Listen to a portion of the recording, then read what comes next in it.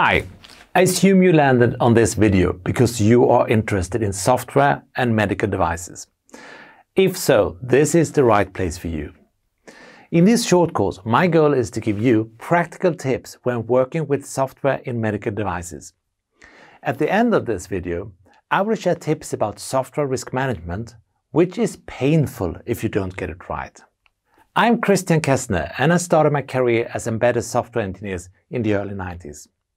After a couple of years, I moved into the medical device field where I have done sterilization equipment, transplantation devices, wound care therapy, and much more.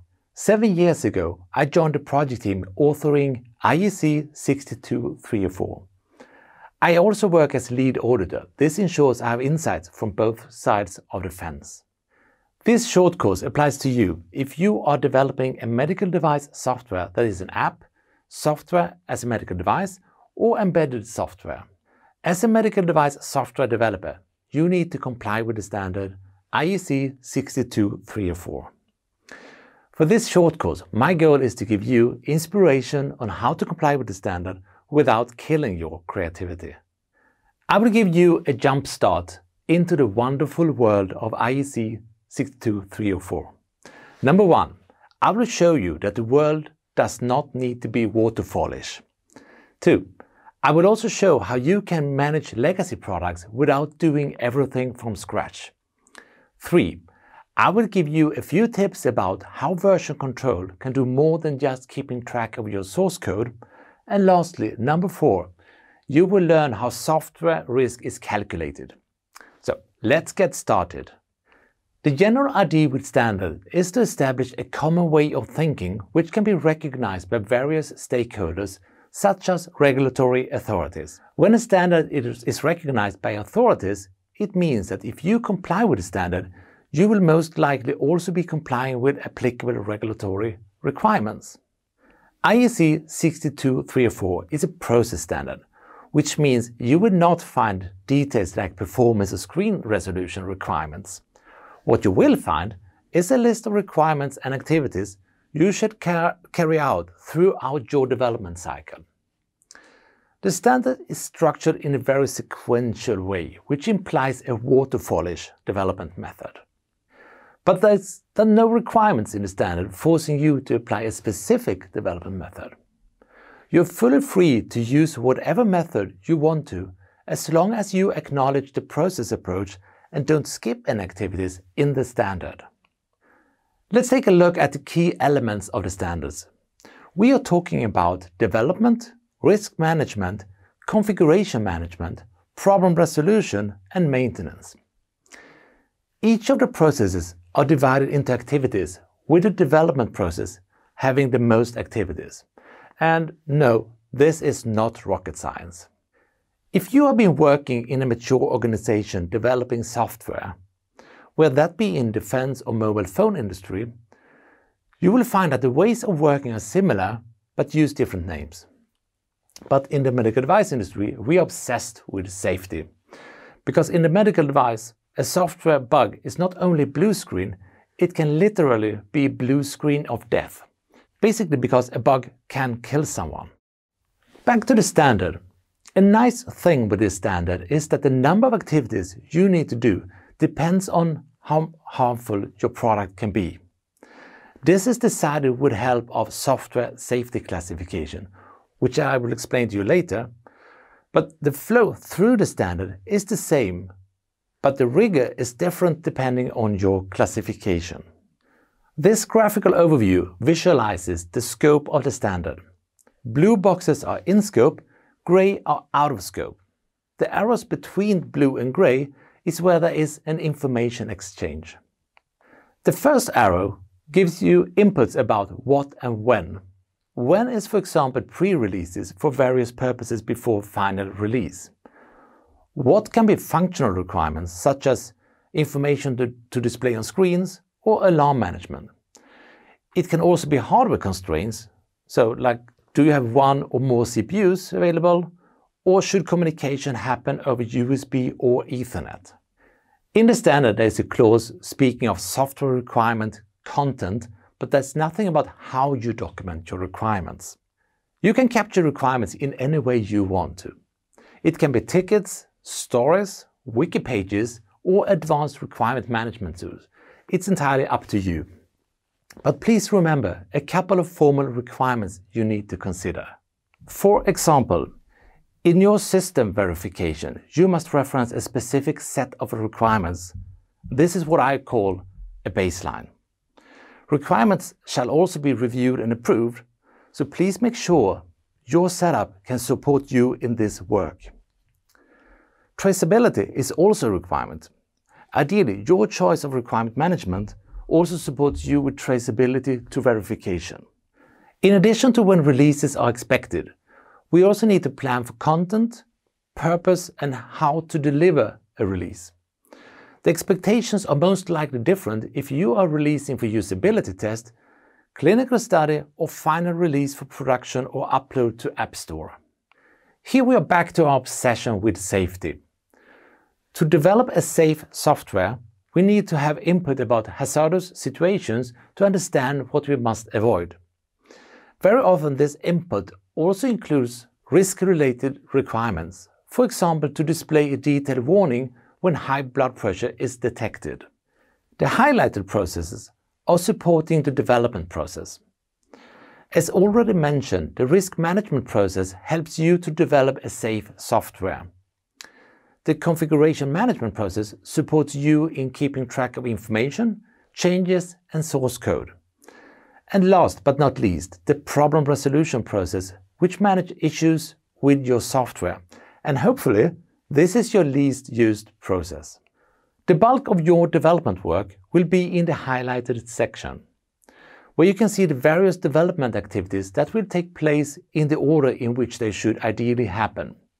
However, it is unlikely your development work will happen exactly like this, and your development method should allow you to be adaptive as your knowledge evolves over time. The key to being adaptive is to be good at working with changes. But what happens if we take smaller steps and use information from previous steps and adjust into the next step? Let's look at agile principles with help of Scrum. Scrum development principle embraces changes, but you might feel there's a mismatch between the waterfall approach in the standard compared to working with agile methods. There's no need to be worried. Working with backlogs, stories and sprints, sprint planning can be compared with when eating an elephant. Take one bite at a time. Let's take a look at an example from the standard and compare the two ways of working. You need to verify your quality of your requirements by, for example, verifying that they do not contradict one another, are expressed in terms that avoid ambiguity, are traceable to system requirements or other sources. If you review a Scrum story before it gets implemented, you do it by taking one bite at a time. The wordings might be different, but you certainly don't want contradictions and ambiguity in your stories. If I simplify things, you verify requirements on a story-based level instead of verifying your complete backlog of requirements. If we now compare with a waterfall approach, you typically aim for having nearly a full set of requirements and then you go for a review. In this later example, you will not verify as frequently as you do in Scrum, but you will spend more time in every review. So you can work with Agile principle and meet the requirements of the standard. It's only a question of how you have chosen to meet the requirements of the standard. In case you are into Agile development, there's a very good technical report from AAMI. I would recommend this report as a very reliable source of information and guidance. Enjoy your reading. Let us return to the software safety classification. The classification is divided into A, B and C. A is the lowest class, which means that the software is not likely to contribute to hazardous situations. While C is the highest class, which is applicable when there is a likelihood of a serious injury or even death. If your software is linked to risk with high severity, your classification will go up. In the standard, there is a flowchart for the classification process. The basic idea is that high severity should drive the rigor of your development process. If you dislike the outcome of your, of your classification, you're free to go back and change the intended use or the medical device. You could, for example, reallocate features from software to hardware, or even easier, you could change your requirements. There is, of course, much more to talk about when it comes to theory and general structure of the standard. But for now, I would continue with other goals which I believe you have more practical use of, so let's kick off with planning. If you search the standard for the word planning, you will find many hits. I've seen several projects where this results in far too many plans, which is waste of time and a highway to audit observation. Waste of time because you spend too much time in just administrating plans, and audit observation because there's a high chance that your plans are outdated or simply not telling the same story. Instead of making your life hard, I suggest you keep it simple and start with a single plan, a single source of truth. You should only start splitting the project into different plans if it adds value to your project team. This could, for example, be if you have a separate test team, then it could make sense to have a dedicated verification plan.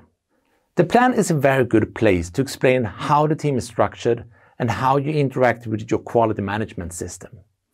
I consider it more as a tactical document these days. For example, if you want to use agile methods and you're stuck with waterfall procedures, then the software development plan is a perfect place to explain and to document your specific approach. Let's take a look at an example of what interacting with a quality management system could be. Many quality management systems are developed with a physical piece of paper in mind. You could call it a document-based mindset. Software information is typically not organized based on physical papers. Information is structured based on other aspects, such as architectural or functional considerations. And preferably, the information is kept where it supports the developer the most, in the source code. There's a requirement in the standard about detail design. The conservative approach to this requirement is to write a traditional document. But since you already version control your source code, why not let some of your documentation coexist with the code instead of forcing the information into traditional paper document? Here it's up to you.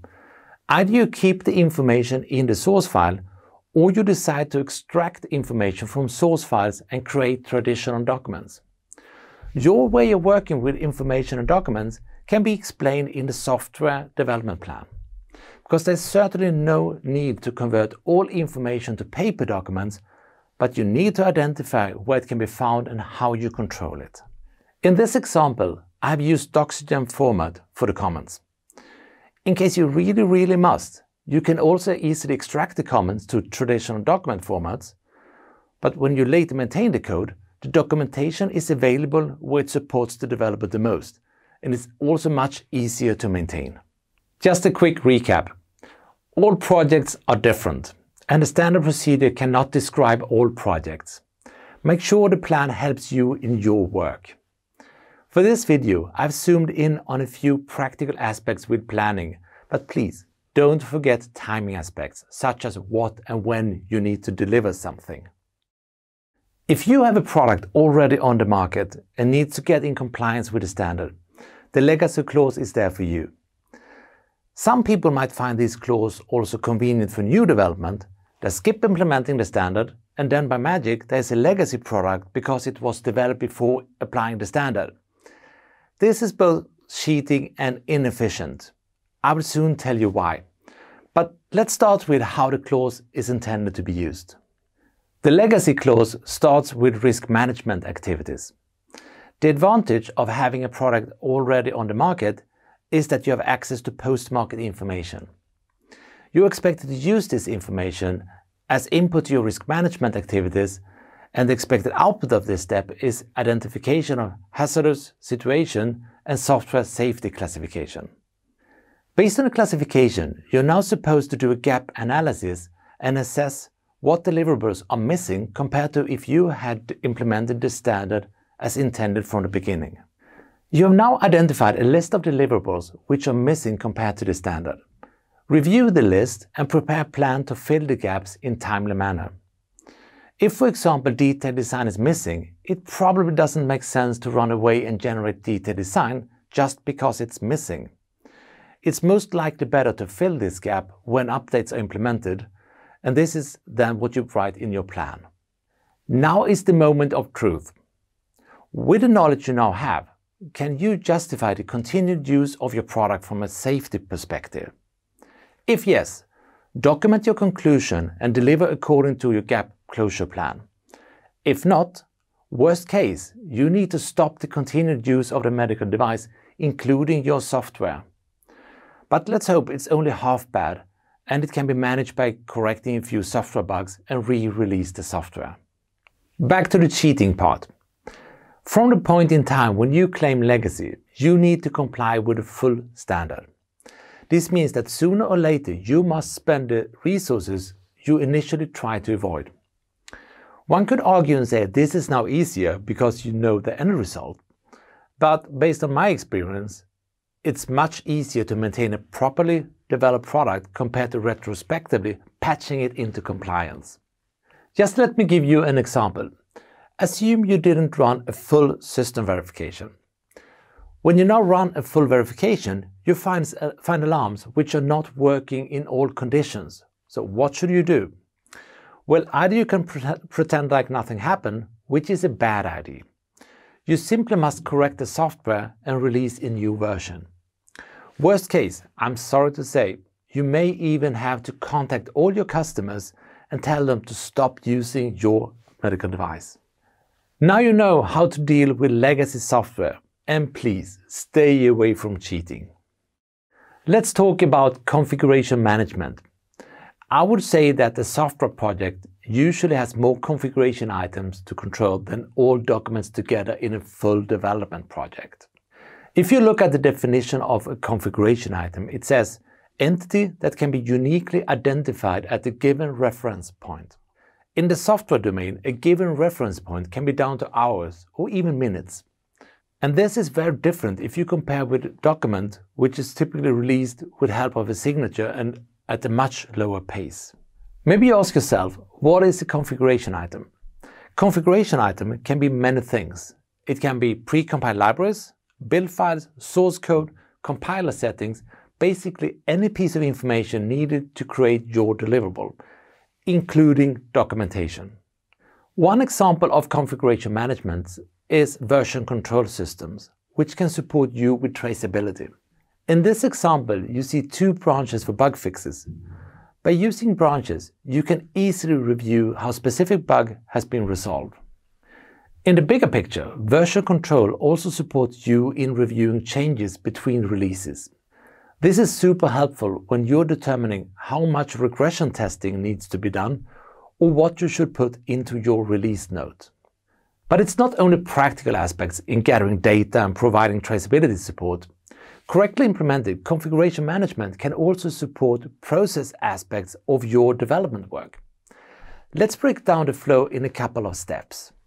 The first step is a decision step. For example, when you decide to implement a change request, you can use roles to define who can create branches and use this to control when implementation work starts in response to an approved change request. The next step is the implementation step.